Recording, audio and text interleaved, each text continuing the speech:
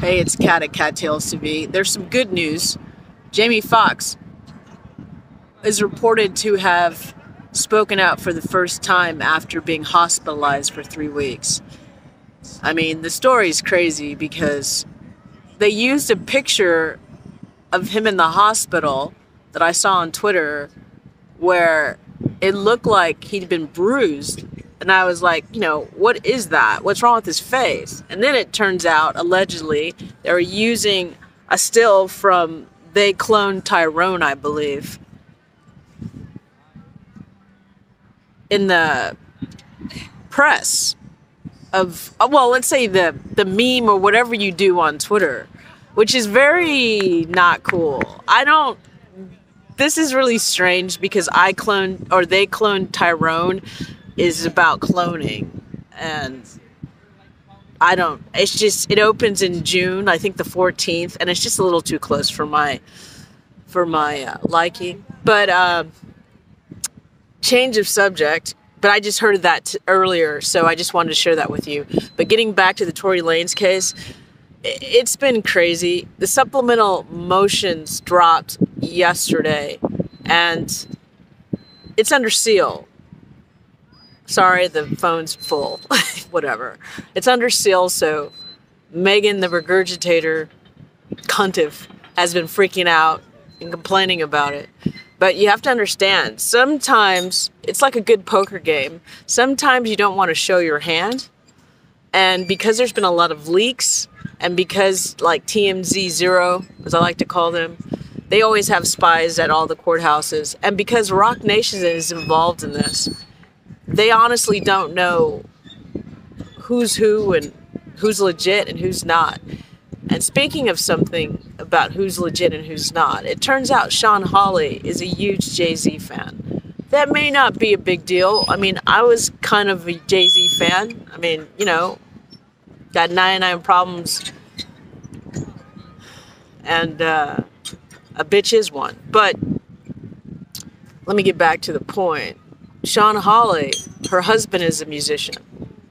And I haven't researched if he's worked with Jay Z or not, but, you know, she's no longer with the case with Tory Lanez. And um, the other guys, like I like to call them, that stepped in, they were horrible, in my opinion. Sloppy, messy, unprofessional, talking loud in the hallway. Megan the regurgitator overheard them talking loud, posted stuff before Kelsey Harris had actually uh, testified. So, and was found guilty by, I believe, a gaslit, emotionally uh, traumatized jury. And now he's looking for an appeal. So the supplemental motions made the prosecution very irritated like the first time. Um, and then, you know, Kathy Ta had her hand on her hips talking to the judge, screaming about sentencing. Um, my whole thing is justice sometimes takes time and sometimes it doesn't even come at all. So I find it highly irregular that they're so desperate for sentencing when the DNA didn't match Tory's DNA is not on the gun, and they don't have the gun. It wasn't administered in court as an exhibit, nor the bullets, nor the fragments from Megan Thee Stallion's foot or feet. Plus, the doctor's report seems to be uh, fraudulent because it has misspellings. This case is crazy. And also, I went to the location where the incident happened, and there's cameras everywhere, but yet there was no video submitted into court as an exhibit, and all the other people in the transcript that supposedly called the police. Not supposedly, they did call the police, but they're not shown in the court records. Um, in other words, they didn't testify, okay? There were several people that called the police and, and gave an account of seeing two women fighting, okay? I'm not making this crap up. Street TV has a lot of evidence that he posted, as well as Nick at NyQuil, but they didn't look at it they just I think you know what happened. I think the management team, Roc Nation, literally went onto these people's uh, YouTube pages and made them feel like they had hits.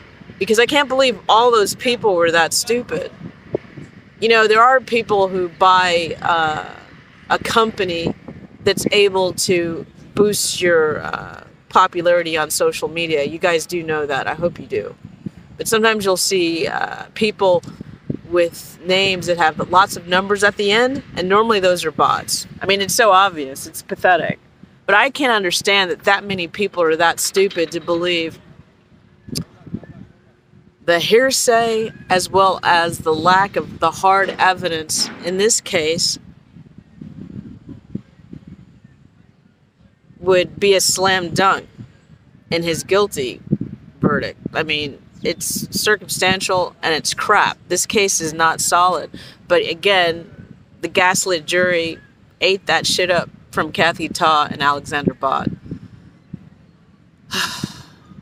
but this is a bigger question of systematic racism and and possibly um, suppressed evidence and criminal activity besides the lies but we don't know how far it goes we're going to find out on monday and like a good a good story sometimes you have to wait and be patient for all the the turns.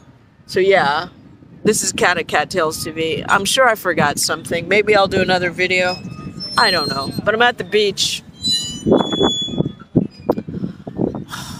You know when you're doing something as stressful as like working other jobs as well as trying to investigate a case. And also the other issues you have in life you know you have to have self-care. You have to relax because it can be extremely stressful and depressing. So you have to balance it out with some jokes and some maybe stretching and some meditation. So i will talk to you when i do another video. Thanks for watching. It's Kat at Kattales tv bye